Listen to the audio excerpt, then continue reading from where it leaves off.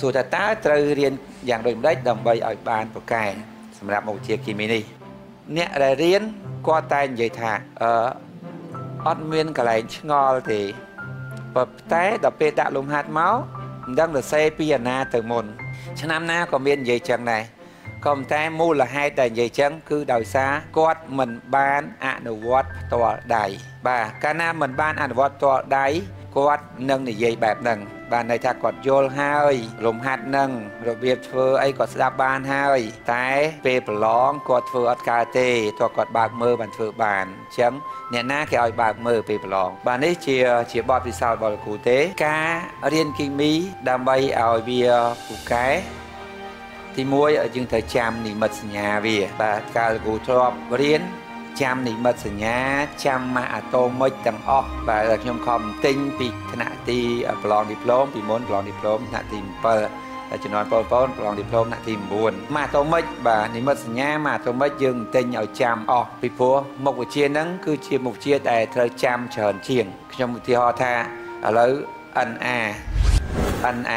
សូដ្យូមយើងហៅសូដ្យូមអញ្ចឹងអញ្ចឹងអឺ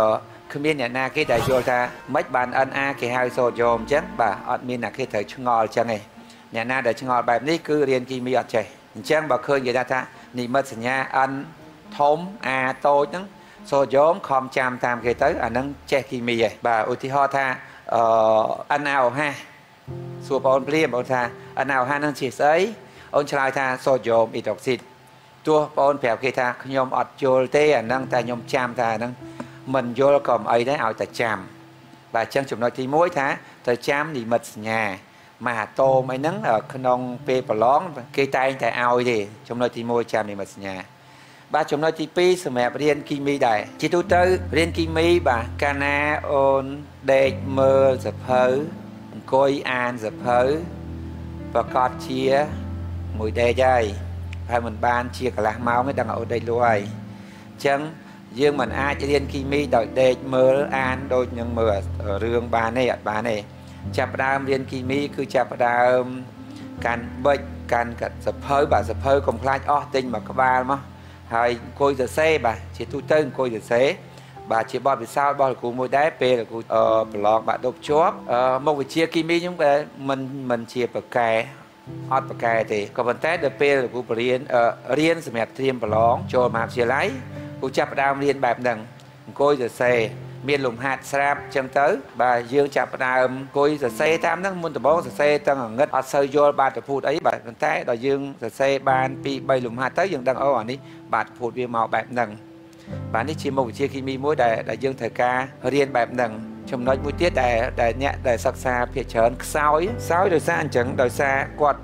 ខ្ញុំពងគាត់បញ្យលបែបនេះគាត់បញ្យលនេះគាត់ដែរ ចឹងក៏អត់មានអារម្មណ៍មួយចាប់អ្វីដែលខ្ញុំចង់និយាយបានទេហើយតែកាលណាវាបាត់អ្វីមួយបន្តិចហើយពេលដែលតទៅមុខទៀតគាត់ចាប់ដើមឆ្ងល់ហើយចាប់ដើមឆ្ងល់ហើយបើចាប់ផ្ដើមឆ្ងល់ហើយក៏អត់សួរការឆ្ងល់របស់គាត់គឺអត់ចេះរហូតអញ្ចឹងចំណុចមួយក៏ល្អដែរអឺកុំសន្តិភាពណាកុំសន្តិភាពពេលរៀនចង់និយាយថាបើអត់ចេះហើយកុំនៅសងំតាមសួរគេទាញសួរគេឲ្យ ឲ្យគេឆ្លើយបើគេមិនឆ្លើយថ្ងៃណាមួយបើជួបលោកគ្រូត្រូវសួរឲ្យដឹងតែហ្នឹងជាចំណុចសំខាន់មួយសម្រាប់រៀនចេះហើយសម្រាប់ថ្នាក់ទី12បាទចូលដល់ថ្នាក់ទី12ដែលត្រៀមប្រឡងយកសញ្ញាបត្រនេះឥឡូវសម័យទំនើបគេមានកដាស់លំហាត់អីចែកឲ្យបងប្អូនរៀនអញ្ចឹងអញ្ចឹងខ្ញុំគ្រាន់តែជាយោបល់ទេមិនដឹងថាល្អឬក៏មិនល្អទេ ចង់និយាយថាមិនចាំបាច់រៀនច្រើនគ្រូពេកទេ បើបងអូនរៀនច្រើនពីព្រលឹមដល់ប្រឡប់អូនពេលដល់ដល់ផ្ទះញ៉ាំបាយហើយប្រកាសជាគ្មានកម្លាំងមើលសភៅទេប្រកាសជាចូលគេហើយអញ្ចឹងយើងយើងរៀនមានពេលកំណត់ មានពេលកំណត់មុខវិជ្ជាណារៀនពីណាដល់ណាចប់អញ្ចឹងទៅពេលដល់ផ្ទះយើងដាក់ម៉ោងរៀនយើងដាក់ម៉ោងកាលភាគយើងធំត្រូវម៉ោងប្រហែលថ្ងៃណាថ្ងៃច័ន្ទពុតសុកអញ្ចឹងទៅយើងរៀនស្អីទៅគឺកណិត គីមីថ្ងៃណាទៅតែយើងដាក់ពេលវេលាឲ្យបានត្រឹមត្រូវចុះពេលវេលាដែលយើងត្រូវដាក់តែយើងដាក់របៀបម៉េចឧទាហរណ៍ថាឥឡូវម៉ោងរត់យើងត្រូវគីមីថ្ងៃពុតថ្ងៃសុក្រឧទាហរណ៍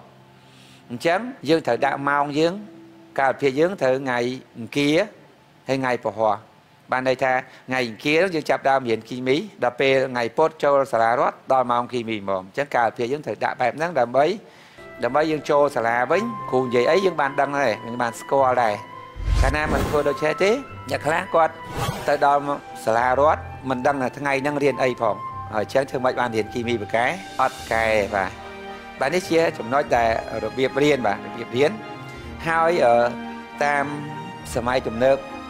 បច្ចុប្បន្ននេះគឺមានរៀនតាមអនឡាញបាទគឺមានរៀនតាមអនឡាញ បាទនេះក៏ជាវិធីរៀនមួយដែររៀនតាមអនឡាញក៏ប៉ុន្តែខ្ញុំគិតថាតាមអនឡាញស្រួលស្ដាប់ស្រួលយល់តែបើអត់សរសេរស្រួលផ្លេចស្រួលផ្លេចវិញបាទដូច្នេះគឺយើងត្រូវតែអឺធ្វើម៉េចភ្ជាប់ពីអាការរៀនតាមអនឡាញហ្នឹងយកមកអនុវត្តសរសេរដោយផ្ទាល់ដៃទើបវាអត់ផ្លេចបាទ គីមីបើសិនជាឧស្សាហ៍សរសេរដោយផ្ទាល់ដៃនោះយើងនឹងជោគជ័យនៅក្នុងអាជីពសិក្សារបស់យើងយើងនឹងជោគជ័យនៅក្នុងផ្នែកហ្នឹងតែបើយើងមិនព្យាយាមសរសេរដោយផ្ទាល់ដៃទេនោះការសិក្សាយើងមករៀនចឹងចេះបាន60%ទៅវិញអត់មើលផ្លេចអស់40%សល់20%ថ្ងៃហ្នឹងបើទឹកក្រោយមកអស់លីង